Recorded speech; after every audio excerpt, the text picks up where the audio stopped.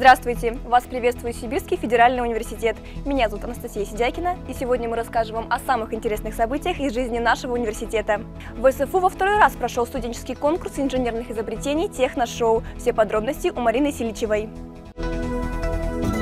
Возьмем немножко попкорна и быстро будем его жевать.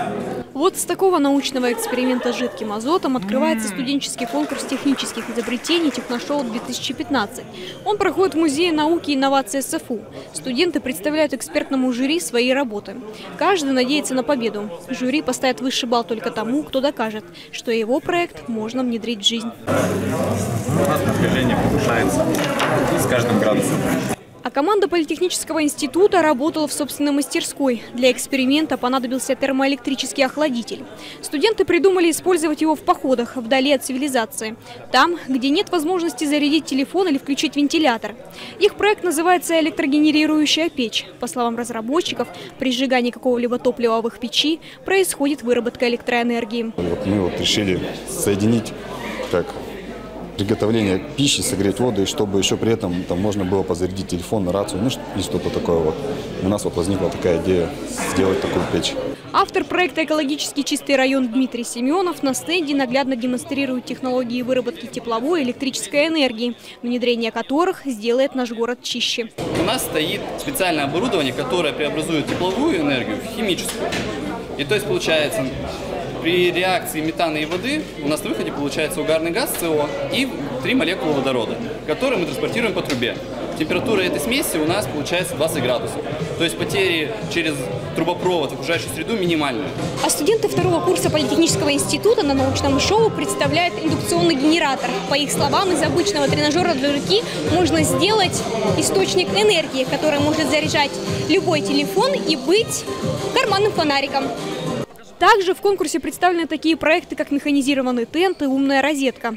А пока жюри определяет победителя, студентов не перестает удивлять своим гостеприимством робот, имя которого студенты еще не придумали. Руководитель научно-образовательного центра молодых ученых СФУ Наталья Бахова считает, заниматься инженерным проектированием сегодня модно. Мы, конечно, планируем из этого проекта сделать э, конкурс инженерных изобретений, который объединит э, все студенческие конструкторские бюро университета. Это не только Политехнический институт, это Институт инженерной физики, это Институт цветных металлов и так далее. А победителем в студенческом конкурсе «Техношоу-2015» стал проект «Электрогенерирующая печь». Марина Силичева, Андрей Шицов, ТВСФУ. В Сибирском федеральном университете стартовали славянские чтения с традицией славянской книжности от рукописи к печатной книге. Говорили о книжной культуре, вспоминали известных книжников прошлого.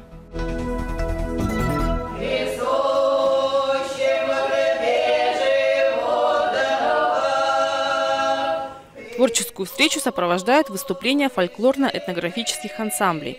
Они исполняют сибирские, казачьи и старообрядческие песни.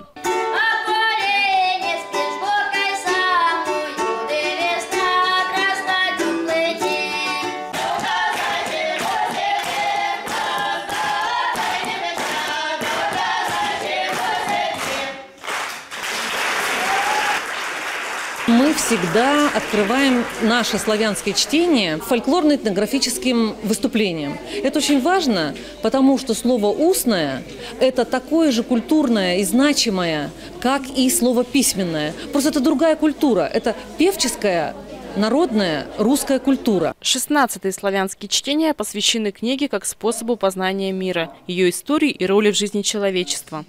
Организаторы настроены распространять и расширять знания о традициях славянской книжности в ВУЗе. Также на славянских чтениях можно послушать научные доклады и сообщения, полистать книги на старославянском и церковно-славянском языках. В СФУ прошел конкурс красивого письма «Каллиграф». Участникам предлагалось не сочинить красивые тексты, а написать их красивым почерком по всем стандартам классической каллиграфии. В конкурсе участвовали как студенты, так и преподаватели нашего университета. Победители определялись по четырем номинациям. Классика жанра «Письмо по прописям», художественное письмо, в котором почерк должен соответствовать содержанию текста, парадный росчерк «Письмо в собственной манере» и черный ящик «Задание загадка». Готовые работы оценивала комиссия преподавателей по разным критериям. Ровность письма, высота и ширина букв, расстояние между между буквами и словами. Для помощи в работе участникам раздавали прописи, которые знакомы всем со школьной скамьи. Именно так должны выглядеть буквы на письме. Конкурс каллиграфии в СФУ проходит не в первый раз и уже стал традиционным. По словам организаторам, даже век информационных технологий важно не только содержание текста, но и его внешний вид. Почерк отражает и наш характер, и э, наши настроения, в, в котором мы пишем, и, собственно, цель, с которой мы пишем также, потому что почерк зависит от того, для кого мы пишем, для чего мы пишем. Ну и немножко напомнить о том, что все-таки письмо начиналось именно с руки. На этом у нас все. Мы продолжаем следить за новостями Сибирского федерального университета. До скорых встреч!